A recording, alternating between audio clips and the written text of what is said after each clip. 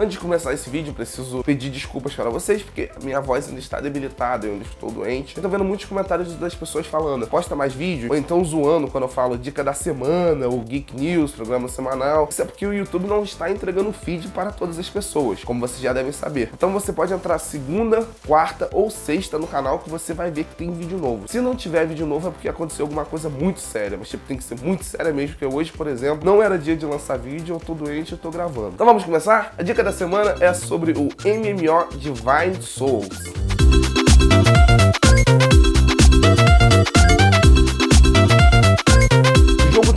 Base, clássico estilo de RPG, onde você mata monstros, faz quests, pega itens, upa de level, PVP e assim por diante. Porém, ele não é tão simples, ele tem um sistema diferenciado. Vamos começar falando do sistema de batalha. Sabe aquele padrão onde você clica no inimigo, espera teu personagem bater no inimigo até o inimigo morrer? Desse jogo é diferente, desse jogo cada golpe é executado por um comando diferente. Ou seja, se você quiser dar três socos seguidos no inimigo, você tem que apertar o mouse três vezes. Mas não é tão simples, não é simplesmente três socos iguais. O jogo conta com um sistema de combos bem complexo, por sinal. Pode-se dizer que o sistema de batalha é bem parecido com o famoso hack and slash. Também não precisa ficar ali encarando as porradas, você pode desviar do ataque do inimigo. As batalhas ocorrem em dungeons. Para você entrar na dungeon varia de level para level. Por exemplo, se você, obviamente, é level 10, você não pode entrar numa dungeon level 20. Mas se você é level 20, você pode entrar numa dungeon level 10. Mas o mais legal é que ela não é dividida apenas por level. Ela também é dividida por nível de dificuldade. Você pode escolher, você quer fazer a dungeon no fácil, no médio ou no difícil. Os inimigos são exatamente os mesmos, o caminho é exatamente o mesmo,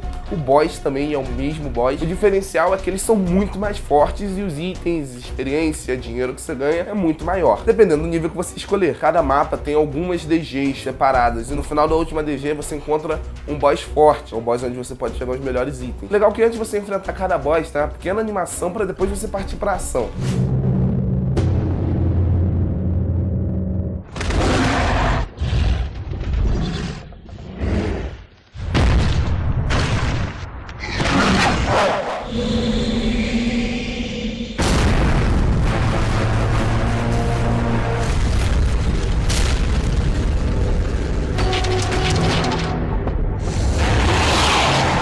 Final de cada boss já tem uma fase bônus, que funciona mais ou menos como Junk Pô. Dependendo da ação que você faz, você ganha ou perde, ou dá empate, e aí você ganha recompensas por isso. O jogo também tem um sistema de PVP que ocorre mais ou menos da mesma forma que é dentro da DG, ou seja, é porrada ali toda hora, em tempo real.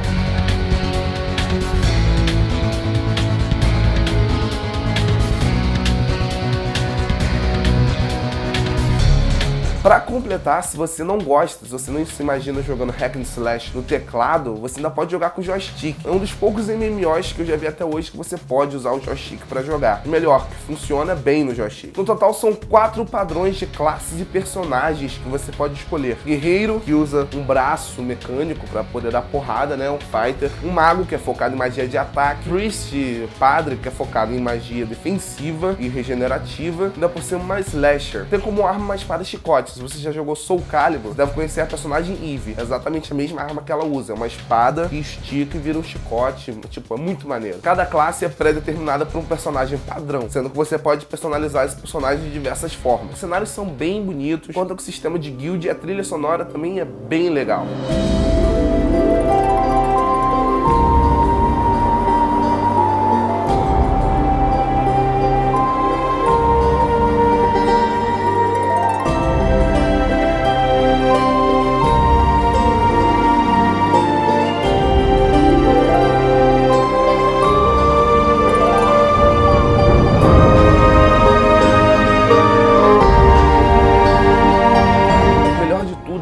Server brasileiro da Gamérica, ou seja, você não tem lag nenhum. Além disso, ele é recente. Se você já tem experiência em MMO, sabe que quanto mais cedo você começa em um server, é melhor, porque você consegue ficar forte junto com as outras pessoas. Ele não precisa de um PC monstruoso para rodar, consegue rodar em qualquer máquina razoável. O melhor de tudo, ainda por cima de graça. O link para você baixar vai estar aqui embaixo na descrição, como sempre. Se você quiser ver um pouquinho mais sobre o jogo, vou deixar aqui, ó, três quadradinhos que são os gameplays que eu gravei junto com o Rato Borrachudo, com o Rick Editor, que é a pessoa que vai editar esse vídeo também.